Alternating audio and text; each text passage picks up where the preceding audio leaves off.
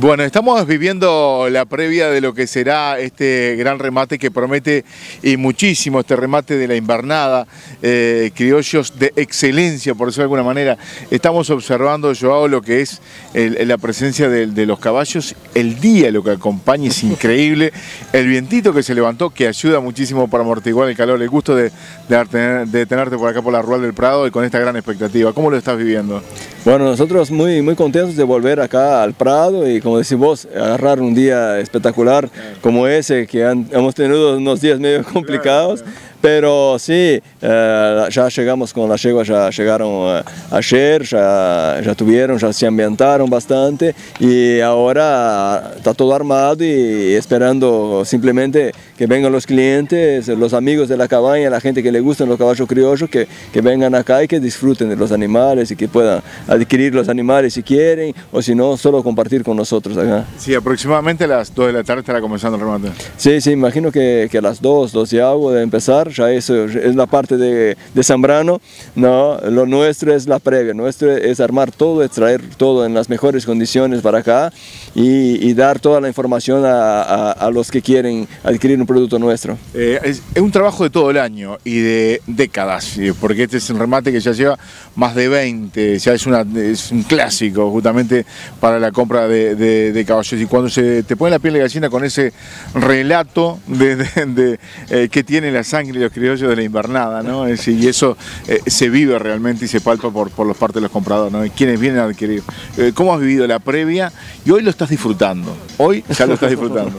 sí, bueno, uh, sí, eh, nosotros, yo, por ejemplo, yo tengo la suerte de estar trabajando arriba de una marca consagrada, ¿no? Arriba de un trabajo de gente que vino antes que yo a la invernada, entonces es la responsabilidad de mantener esas sangres y traerlas en las mejores condiciones condiciones posibles para que, que, la gente que le gusta también ese tipo de sangre, ese tipo de animal, tenga animales para comprar todos los años en las mejores condiciones, mejor doma que se pueda hacer, la mejor estado, o sea, con todas las garantías de la cabaña, ese es el trabajo nuestro. Y hoy ya es eh, cuando termina ese ciclo y, entra la, firma rematadora, hace toda la parte que, que, ellos arman, todo eso muy bonito acá en el Prado, nosotros también ayudamos, pero toda la infraestructura muy lindo quedó. ¿no? Y para que la gente esté cómoda y esté tranquila para poder ah, comprar y acceder a los animales. ¿Sabes qué? Quiero saber algo más de Joao Martins, es administrador justamente de esta cabaña de Placio Martins. Sí, yo ingresé en el año 2000, el final del año 2000, ah, a administrar la invernada y claro, yo administro toda la sociedad anónima, ¿no? que una parte del negocio es el negocio de caballos. Es el negocio que más aparece, pero es una parte eh, chica del, del, negocio. ¿no? Yo soy eh, formado en, en, Brasil y hice una maestría en Nueva Zelanda, entonces vine para acá. Yo, uh, yo si bien soy pariente lejos de ellos, yo no, no los conocía cuando me ofertaron para venir a trabajar acá en Brasil. Bien, ¿y dónde estás radicado en Brasil o radicado en Uruguay, en Brasil? Uh, mi, mi, familia, mi mujer vive en Brasil.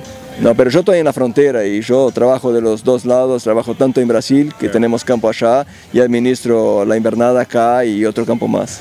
Joao me decía, me dicen Juan también, Juan Antonio Joao, ¿no? Martín. Sí, sí, ah, sí, acá cuando vine para Uruguay ya adopté el Juan Antonio porque nos queda mucho más fácil, ¿no? Bueno, Juan, a disfrutarlo, eh, a, disfrutarlo realmente, viví esta previa que es una vez al año que se disfruta muchísimo este, y bueno, hay mucha gente que te está solicitando en esta eh, hermosa tarde, la verdad, de primavera. Hoy se dice realmente que es una tarde primavera. Sí, la verdad que tuvimos mucha suerte con el día y, sí, ese es el momento que nosotros estamos a, a la orden para, para la gente que miró los videos videos que miró todo no, por internet ahora viene acá y, te pregunta más específicamente alguna cosa de alguna yegua, de algún padrillo. No, los padrillos también están muy bien, entonces eh, es el momento que estás para, para, para, atender un poquito todo eso. Bien, mucha, a disfrutarlo. ¿eh? Bueno, muchísimas gracias y gracias a ustedes. Bueno, muchísimas gracias. Vamos a seguir todo el remate indudablemente, bajo el martillo de Zambrano y compañía. Eh, ¿Cómo le va, Jonathan? Buenas tardes también a usted. ¿Cómo le va? Un gusto estar compartiendo también esta, esta hermosísima tarde de primavera. veíamos a Joao o a Juan recorriendo justamente las mesas, hablando con, con los clientes, pero en algunos minutos nada más ya estará comenzando este remate. Sí, un remate muy esperado, ¿no? Es uno de los remates de criollo más esperados del año, hay una oferta bien interesante, cerca de 40 ejemplares a nivel general se van a estar comercializando y eso sin dudas habla eh, muy bien de lo que es la organización previa, pero de la calidad y la demanda que hay, ¿no? Son 40 ejemplares con muchos interesados a nivel país. Bien, nosotros vamos a seguir disfrutando de este mediodía tarde, ¿no? Pero pasada las 2 de la tarde estará comenzando este remate en esta cobertura de ARU TV en la casa de la Asociación Rural Uruguay. Este prado, este escenario que como decía Joao, espectacular para este tipo de remates. Seguimos disfrutando con ustedes este remate de la invernada.